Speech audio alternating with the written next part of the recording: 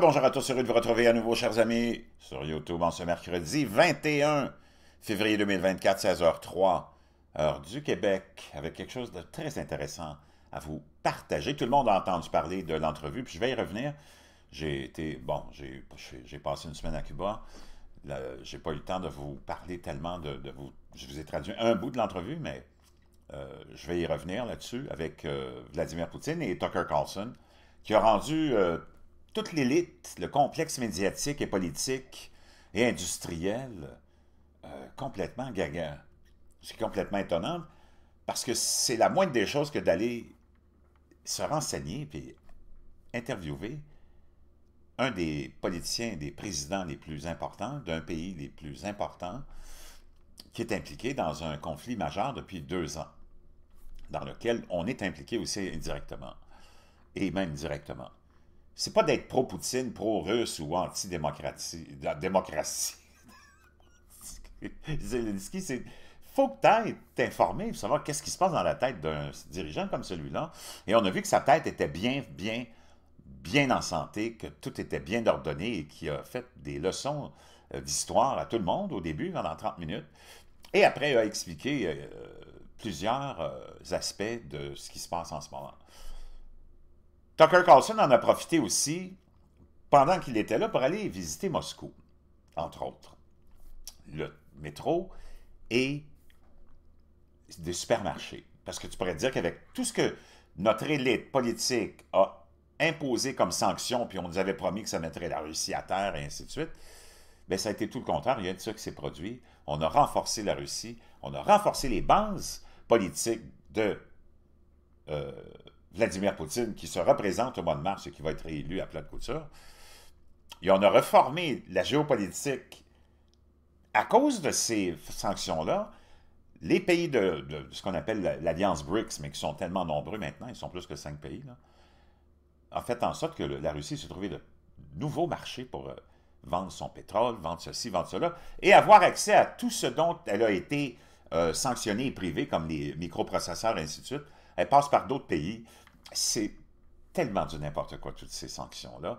L'euro a perdu peut-être 10% de sa valeur euh, depuis le début de cette crise-là. L'économie russe se porte beaucoup mieux en général que l'économie européenne. Donc, tout ça, c'est du n'importe quoi. Donc là, on va aller voir euh, la première euh, vidéo, c'est Tucker qui visite une station de métro qui date de 70 ans, qui a été construite du temps de Staline, vraiment un infâme personnage de l'histoire. Et c'est pas de... Tu peux continuer à être à détester Poutine, c'est pas vraiment important, c'est pas ça le point, c'est que lui est là et il dit « Je comprends pas que nous autres, un pays comme les États-Unis ou même l'Europe, euh, la plupart des pays de l'Europe de, l'Ouest ou le Canada, on, nous sommes des pays riches, et euh, il n'y a pas une station de métro qui ressemble à ça. Oublie le décor, on sait que ça a été fait durant le temps de l'ère de Staline, qui avait beaucoup d'argent euh, pour la propagande, là. mais là on est en 2024, le point de Tucker Carlson, c'est qu'il n'y a aucun désordre, il y a aucun itinérant, il n'y a aucune violence dans le métro, c'est propre, les gens circulent calmement, librement, prennent ce métro-là tous les jours pour aller au travail, revenir. C'est un lieu de rencontre, le métro, de la société, ça reflète la société dans laquelle tu vis. Il n'y a pas de fous qui veulent te jeter en bas du, du quai, il n'y a pas de fous qui te poignardent, il n'y a pas de, drogue, il n'y a pas de, graffiti nulle part. C'est ça qu'il essaye de démontrer. Comment se fait que nous autres, nos pays, sont incapables d'avoir une jeunesse, une population qui est à ses affaires? On a dépravé notre population, on l'a rendu accro à toutes sortes de drogues. On a plein de sans-abri partout, de gens qui urinent dans le métro, qui défectent dans le métro, qui se droguent dans le métro, qui commettent des viols dans le métro, qui commettent de la violence dans le métro. Il y a des graffitis partout. Il n'y a rien qui se fait. Tout est laissé à la loi de la jungle. Et c'est ça le questionnement de Tucker Carlson, dans le fond. Il dit, on devrait questionner nos dirigeants.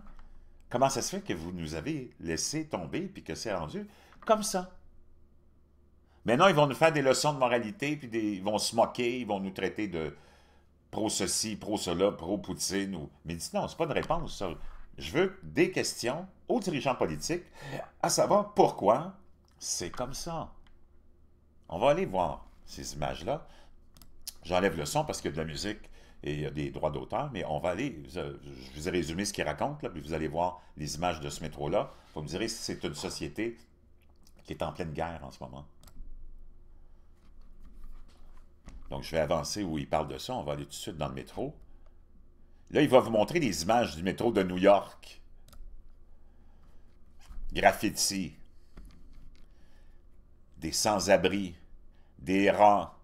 Sans compter la violence, la drogue. Tu peux pas prendre le métro sans peut-être avoir derrière la tête que tu vas être agressé. Et là, il va s'en aller dans le métro de cette station dont oublié le nom. Et voilà. Pas de graffiti. Les gens sont calmes. Pas de violence. Pas de sans-abri. Pas de drogue. Pas de pipi. Pas de caca nulle part. Pas, pas quelqu'un qui vient derrière ton dos pour te, te lancer dans le vide, dans le quai, du quai. Pas de poignardage. Pas de ceci. Pas de cela. Vous voyez? Et c'est pas neuf, là. C'est des, as même des luminaires. Tout est propre. Tout le monde est calme. Tout le monde est respectueux. Je vois pas vraiment une société en péril.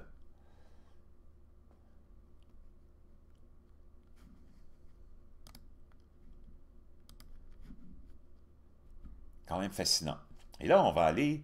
Euh, et ça, c'est à tous les jours. Là, ces gens-là utilisent le métro tous les jours. Vaquent à leurs opérations. Pas de stress tout est propre, tout le monde est à ses affaires. Et là, on va aller voir un marché d'alimentation. Tucker est allé visiter un marché d'alimentation. On se rappelle naturellement du temps de l'Empire soviétique. Euh, les magasins étaient vides, c'était de la nourriture pourrite qu'on avait sur les étagères. C'était pas de la propagande, ça c'était vrai. Mais aujourd'hui, on va aller voir de quoi ça a l'air. Dans la Russie,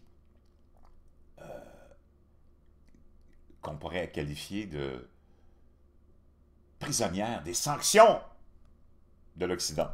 Encore là, j'enlève le, son et le volume. Et on va voir Tucker Carlson qui est en train d'expliquer ça et qui va euh, se rendre... ça, c'est dans le temps euh, où on avait tout été vide, du temps de l'Union soviétique, la nourriture infecte. Et ça, c'est pas de la propagande. Tu peux, aller, tu peux trouver des archives, tu vas voir ces images-là. Mais maintenant, on est dans un monde contemporain. De quoi a l'air? Euh, une épicerie en Russie en 2024. Donc, même le panier d'épicerie, tu dois mettre peut-être une pièce de 10 roubles. C'est gratuit, mais on va te rembourser quand tu vas remettre ta clé dedans. Donc, c'est juste pour être certain que tu ne l'amènes pas chez vous.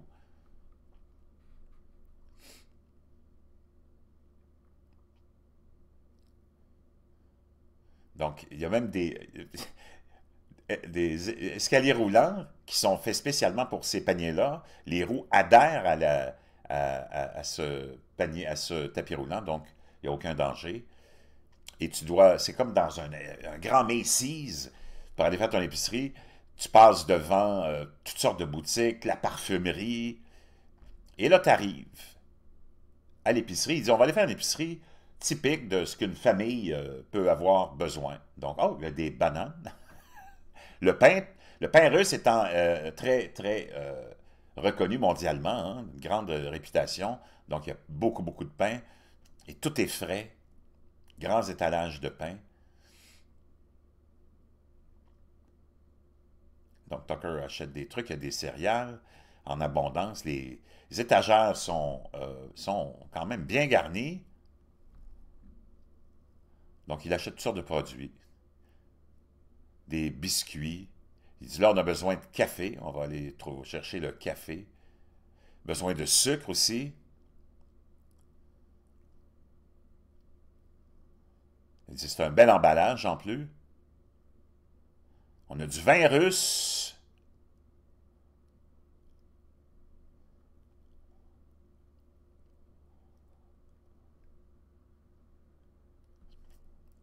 Apparemment, c'est très très bon. C'est un vin qu'on peut, je pense que, boire chaud. on a des grignotines au fromage. Lui, il a besoin de lames de rasoir, donc il s'en va chercher des lames de rasoir. Il y a une section euh, de, toutes les, les, les, lames de rasoir qui sont là, avec les sneakers, les Twix. Il dit, il n'y a pas trop de sanctions. Trop de ici. Donc, on voit tout ce que Tucker a acheté.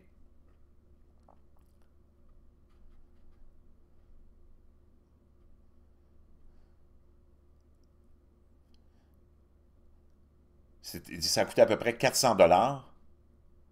Et euh, ça aurait coûté 400 dollars aux États-Unis. Ici, ça me coûte à peu près 100 dollars.